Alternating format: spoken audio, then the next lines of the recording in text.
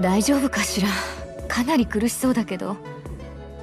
俺は腕やったがこいつは脇腹に一発黒とる。病院に行った方がいいんじゃないの？それは全然いいんだけど。おうどうだ？怪我の具合は？そうか。大悟の方はどんな具合や？そっちも悪い。心臓を無理やり動かしてるって状況だ。今日明日が峠ってとこだろ。俺らをかくまうようなことして大丈夫なんか大丈夫。なわけねえだろ。バレりゃまた免職もんだな。しかし驚いたぜ。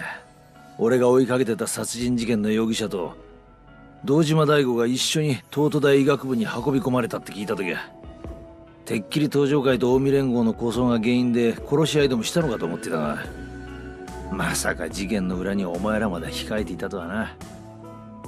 あんた俺らをかくまうようなことして大丈夫なんか？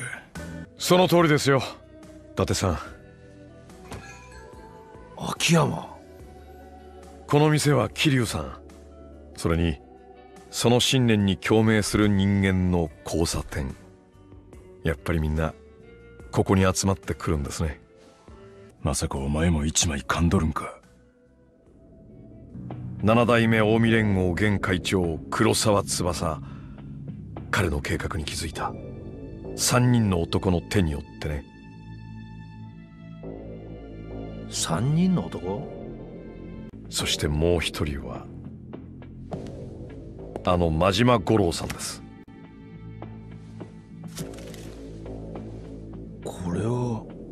真島さんと勝也それにパク・ミレイという女性が命がけで計画した。皆さん少しお時間をもらえませんか？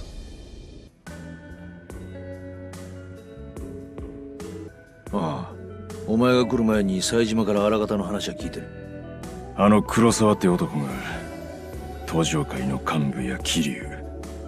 それに身内の渡瀬や勝也を消すためにやったことやと言うとったが。そうです全ては黒沢の余命が原因で今回の事件は始まっています。唯一大阪で起こった事件のみが性質が違います。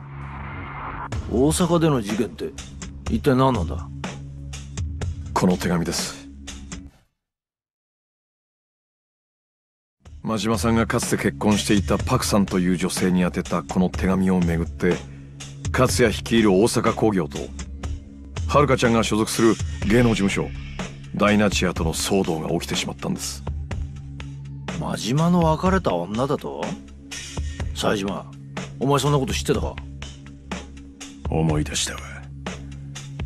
勝也っちゅう名前もパクいう名前もどっかで聞いたことある思ってた。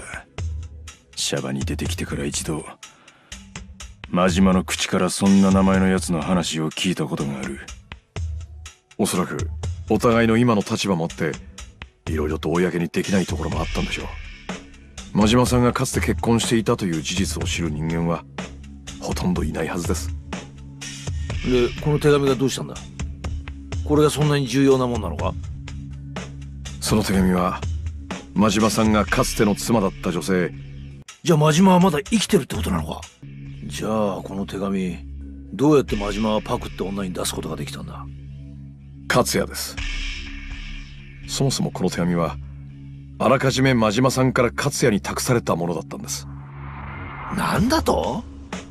どういうことなんだ？ずっと気になっていたことがあったんです。大阪工業の人間はどこでこの手紙の存在を知り得たのか。俳優を引退した勝也を世話したのも真島さんだそうです。ダメだ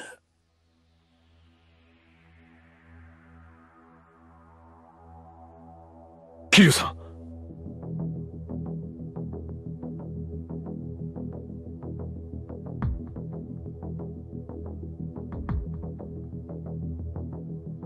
動けるのかお前。どんな事情があってもそのコンサート中止にしないでやってくれ。桐生。お前話聞いてたのか？ああ大体のところはな。だったらわかるだろう。今ドームでコンサートをすることがどれだけ危険なことなのか。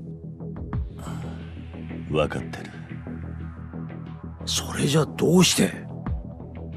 はるかが今の話を知ったところで結局は舞台に立つ道を選ぶからだ。お前もそれを分かってて俺たちに相談しに来たんじゃないのか？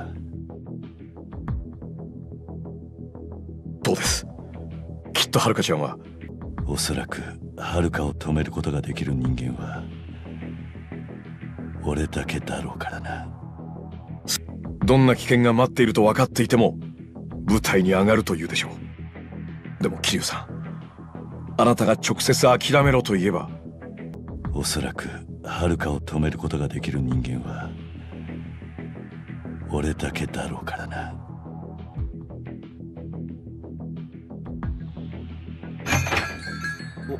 おい桐生お前俺が行ってくる。